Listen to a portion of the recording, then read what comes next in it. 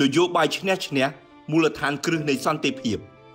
ផ្ដើមចេញពីរដ្ឋប្រហាររបស់សាធារណរដ្ឋខ្មែរឆ្នាំ1970មកសង្គ្រាមរ៉ាំរ៉ៃទូទាំងប្រទេសបានផ្ទុះឡើងដោយបានបំផ្លិចបំផ្លាញគ្រប់យ៉ាងរាល់សំណង់អគារប្រវត្តិសាស្ត្រស្ទើររៀបដល់ដី ជាង500ឆ្នាំមកហើយដែលព្រះរាជាណាចក្រកម្ពុជាពុំដែលធ្លាប់ទទួលបានសន្តិភាពពេញលេញនោះឡើយតែមានការបែកបាក់ទៅជា2ជា3ភាគីឥតឈប់ឈរមិនដូចក្នុងបច្ចុប្បន្ននេះឡើយ ដែលប្រទេសយើងបានស្គាល់នៅរសជាតិសន្តិភាពមិនបែកបាក់ចេញជាច្រើនភាគីតស៊ូប្រឆាំងនឹងគ្នាសមិទ្ធផលដ៏ធំធេងនេះជាស្នាដៃដឹកនាំប្រកបដោយកតេបណ្ឌិត របស់មគ្គុទេសឯកសម្ដេចដេជោហ៊ុនសែនដែលបានប្រើប្រាស់នីតិវិធីជាច្រើន តែផ្ដោតសំខាន់លើការឯកភាពជាតិជាធំដោយចាត់ទុកជាការងារអតិភិបដែលចាំបាច់ត្រូវអនុវត្តមុនគេបង្អស់គឺត្រូវធ្វើយ៉ាងណាឲ្យប្រជាជនកម្ពុជាទាំងអស់បានមករួមរស់ជួបជុំក្រុមគ្រួសារនិងសង្គមជាតិឡើងវិញ បើទោះបីស្មារតីរបស់កងកម្លាំងរណសេរីសាមគ្គីសង្គ្រោះជាតិកម្ពុជា បង្កើតនៅថ្ងៃទី2ធ្នូ1978ដែលឈានឆ្ពោះទៅថ្ងៃជ័យជំនះ7មករានិងបានបណ្ដេញរបបប្រល័យពូជសាសន៍ប៉ុលពតដែលបានធ្វើឲ្យប្រទេសកម្ពុជាជួបគ្រោះមហន្តរាយដ៏ខ្មៅងងឹតរស់នៅក្នុងគុកឥតជញ្ជាំងជាង3ឆ្នាំមកក្តីក៏ក្រុមនេះនៅតែតាមរំខានដល់សន្តិភាព និងការអភិវឌ្ឍជាតិដោយបង្កើតតំបន់ស្វ័យយ័តដើម្បីតស៊ូទាមទារអំណាចឥតឈប់ឈរ ហេតុនេះទើបញ៉ាំងឲ្យថ្នាក់ដឹកនាំនៃរដ្ឋកម្ពុជាធ្វើការសម្រេចចិត្តដាក់ចេញនូវគោលនយោបាយឈ្នះឈ្នះដែលឈានទៅបញ្ចប់សង្គ្រាមរ៉ាំរ៉ៃនៅថ្ងៃទី29ធ្នូ1988នយោបាយឈ្នះឈ្នះបាននាំនាវាកម្ពុជាឲ្យទទួលបាននូវសុខសន្តិភាពពេញលេញដែលជាកត្តាចម្បងសម្រាប់ជំរុញការអភិវឌ្ឍប្រទេសជាតិលើគ្រប់វិស័យនិងការធ្វើសមាហរណកម្មកម្ពុជាទៅក្នុងកិច្ចការតំបន់និងអន្តរជាតិដោយជោគជ័យ ហើយបានប្រែក្លាយជីវភាពរស់នៅរបស់ប្រជាជនពីភាពក្រីក្រ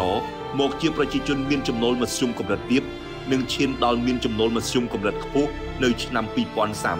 2030ដើម្បីឈានឆ្ពោះទៅរកភាពជោគជ័យនៃការអនុវត្តនយោបាយឈ្នះឈ្នះសម្ដេចតេជោហ៊ុនសែនបានដាក់ចេញនូវគោលការណ៍គ្រឹះ3ឬហៅថា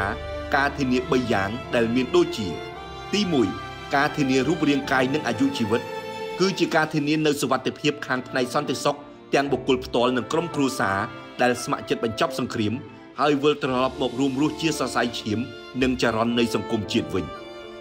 ទី2ការធានាអាជីពនិងមុខរបរគឺការធានានូវសុវត្ថិភាពខាងផ្នែកអាជីពដោយផ្ដល់ជូននូវលទ្ធភាពគ្រប់គ្រាន់ក្នុងការបន្តមុខរបរចិញ្ចឹមជីវិតរបស់ខ្លួនថែមទាំងឋានន្តរស័ក្តិរបស់ខ្លួនផងដែរ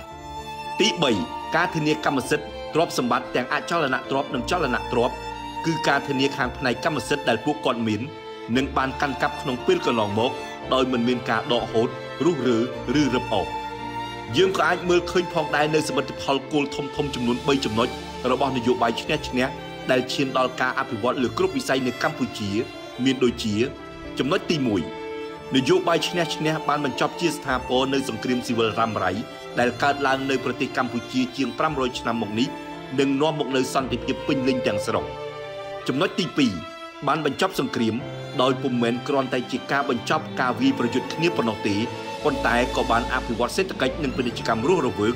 ដើម្បីកាត់បន្ថយភាពក្រីក្រផងដែរចំណុចទី3នយោបាយឈ្នះឈ្នះពុំមែនផ្ដោតតែទៅលើការប្រយុទ្ធយកឈ្នះលើសមរភូមិតែមួយមុខនោះទេប៉ុន្តែគឺក៏បានផ្សះផ្សាបង្រួបបង្រួមជាតិដោយមិនយកសង្គ្រាមមកបញ្ចប់សង្គ្រាមនោះឡើយនិយាយជារួមនយោបាយឈ្នះឈ្នះមានន័យថាឈ្នះទាំងអស់គ្នាមិនមានអ្នកណាចាញ់ឡើយ គោលការណ៍នេះគឺស្ដាប់ទៅហាក់ដូចជាសាមញ្ញប៉ុន្តែធៀបពិត គឺជាយុទ្ធសាស្ត្របង្រួបបង្រួមជាតិដ៏មានប្រសិទ្ធភាពរបស់អគ្គមគ្គុទេសឯកសម្ដេចតេជោហ៊ុនសែន